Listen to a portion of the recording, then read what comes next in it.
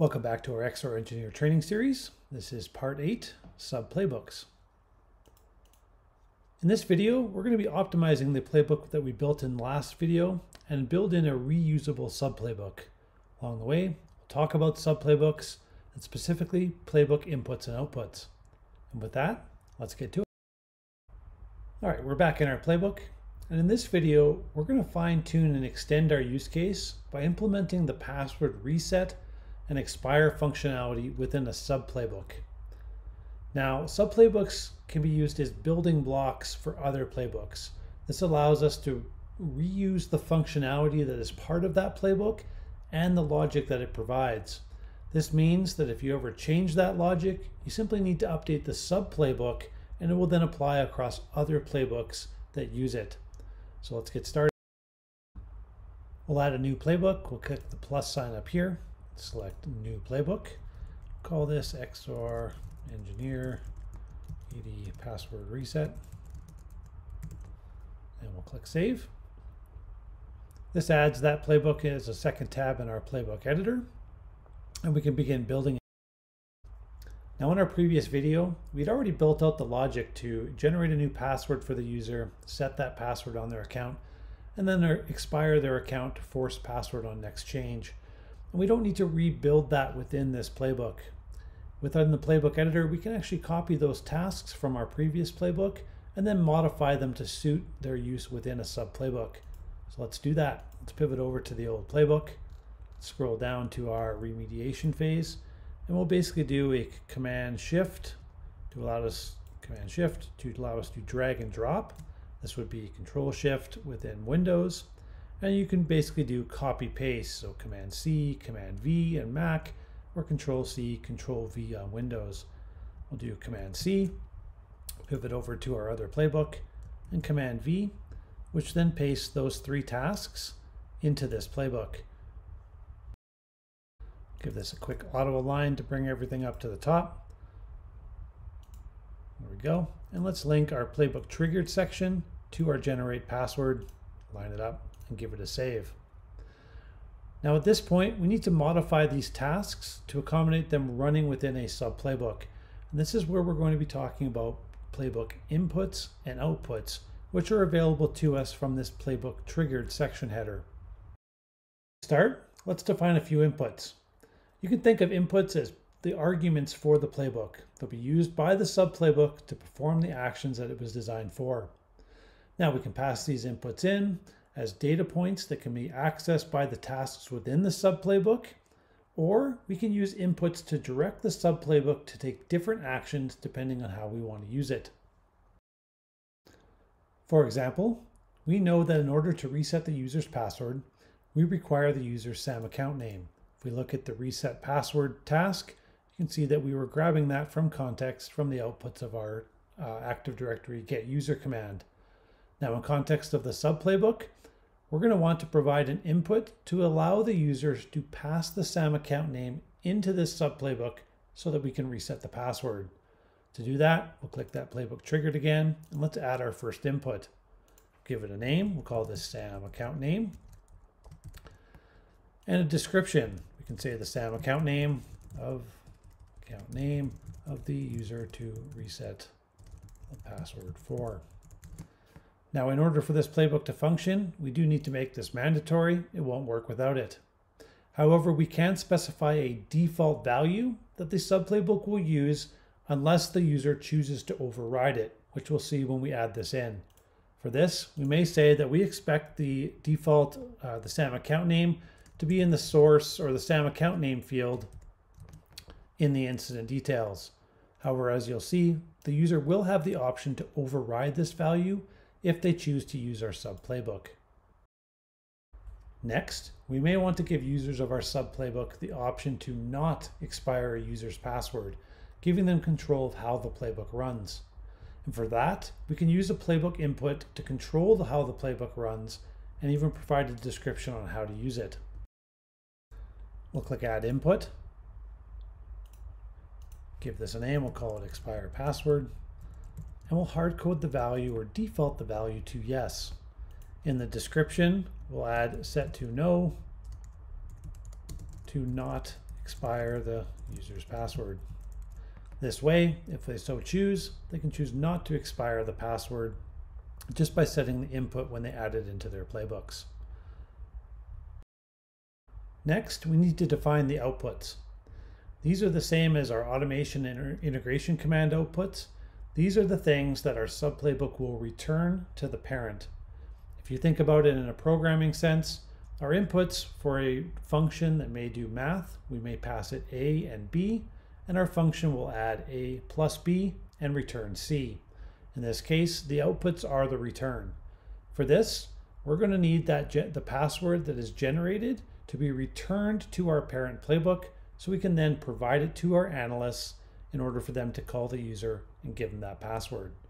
For this, we can go to the output section, add an output, and you can see that the only task within our playbook that actually produces outputs is the generate password. We're going to tell our sub playbook to return this to the parent, and you'll see how this works when we give it a run. For now, we can hit save now that we've defined our inputs and outputs and we can start modifying the tasks to use them.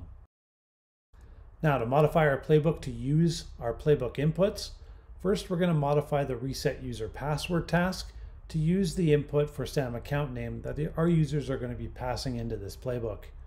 For that, we can select reset user password. You can see it's still coded to the output of our AD get user command from the previous video, but we can simply get rid of this, click the blue curly braces, and get access to the playbook inputs that we defined.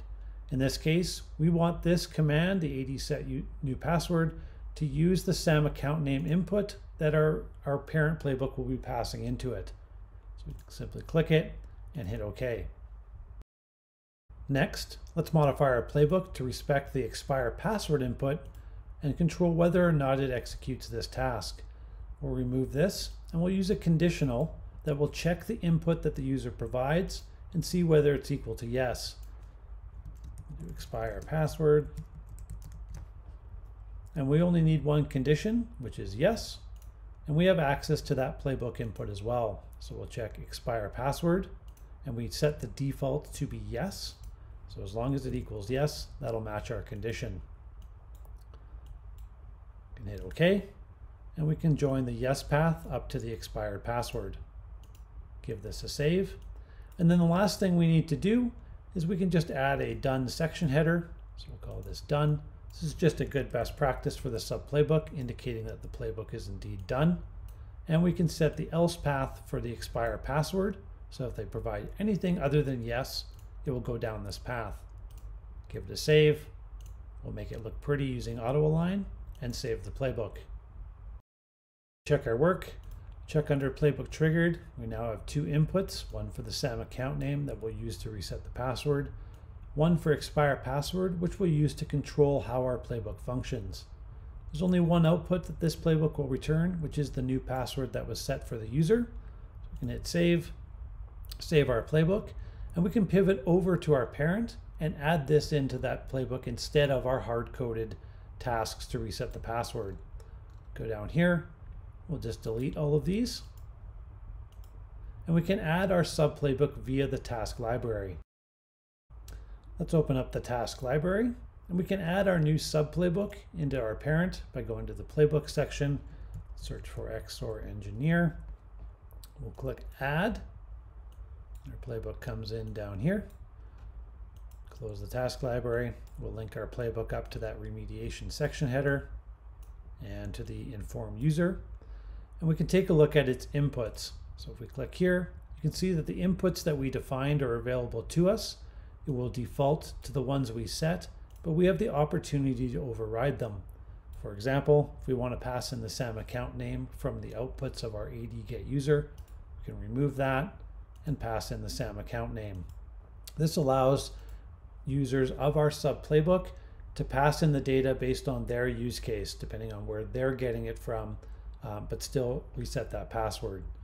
You can see that the description for these inputs is, is defined, which is why we put it in there. It helps inform users of your sub playbook how to use it. We can also check the outputs. We can see that the new password output is expected to be returned from our sub playbook, which means it should be in the incident context, to be used by the following task. So let's hit OK and save this, and let's give our playbook a quick test. Now when testing the sub playbooks, we can still do the skip tasks if we don't want to perform certain actions. Pivot over to our sub playbook here. Tell it to skip the task to reset the user's password and expire it.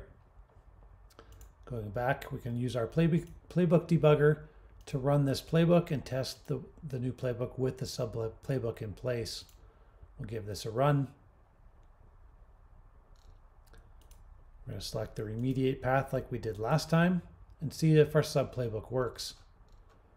We take a look at the sub playbook and see that the new password was generated. We can even see that new password within context. So it was returned by our sub playbook. Now a thing to call out here is that sub playbooks have context of their own. The, the tasks that run under the sub playbook will have the context nested here under that sub playbook with the number of the playbook from the playbook uh, editor.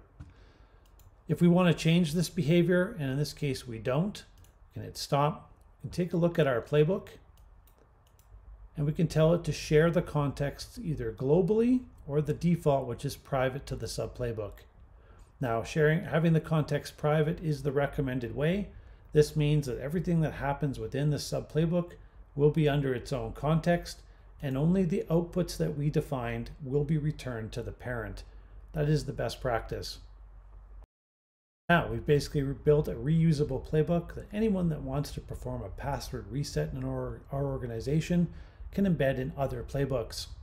This way, if we ever need to change the functionality, introduce a new component to reset passwords, we can simply modify our sub playbook and it will be cascaded across the different playbooks that use it. Hit OK. And let's add one more sub playbook using an out of the box playbook.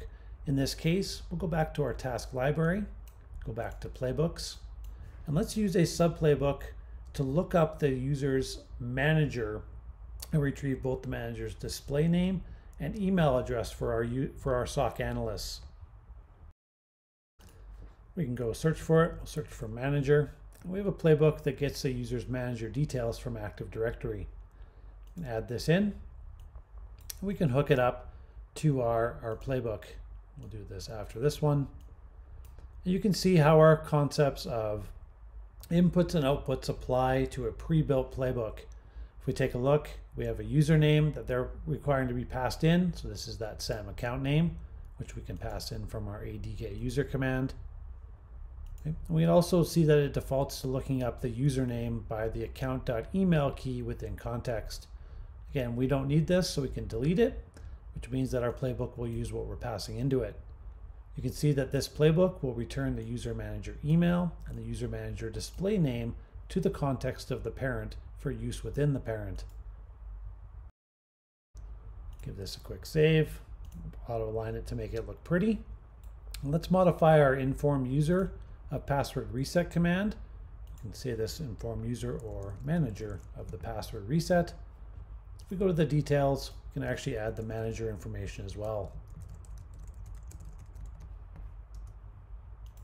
From our available outputs, you can see that the get user manager details gives us the user manager display name and also gives us the manager email. So we can say manager and manager email. This way, if our SOC can't get, can't get a hold of the user, maybe they can get a hold of the user's manager. Hit OK. We can hit save. And we can review what we did in this video. To review, Subplaybooks can be used as building blocks for other playbooks. This allows you to reuse them and the logic they provide in your other playbooks. That means if the logic needs to change, you can simply update the subplaybook. Now with subplaybooks, subplaybooks receive inputs, and these act just like our automations and integration commands. These inputs are used within the subplaybook and its tasks to perform specific functions in the playbook. You can use those inputs to have the subplaybook take different paths depending on the use case. In addition, our subplaybooks can return outputs. These are then stored in the parent context and can be used in following tasks of the, the parent playbook. And with that, thanks for watching, and we'll see you in the next